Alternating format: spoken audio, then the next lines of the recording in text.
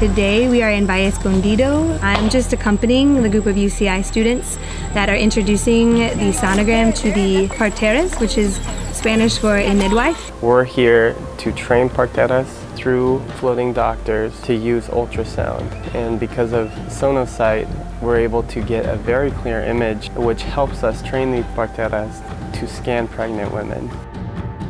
They've never seen a sonogram before. A lot of them don't go to the hospital to give birth. They do it in the home. So I think the main goal of this project is just to introduce the machine and then kind of an interchange of what they do as parteras. Uh, today was really good because again the community is pretty well established. ¿Qué es eso? Cabeza. No. Placenta. Placenta, muy bien. We bring them over and we kind of explain the machine and then we have a lady lay down. There are really four key objectives that we want to get through to the parteras. So we get the location, we get the size of the head, we get the placental location and then also quantity of fluid. Hopefully this will be an encouragement to them when there are complicated births. They have an option to send these women to the island to get further help, which otherwise they might have not been able to do.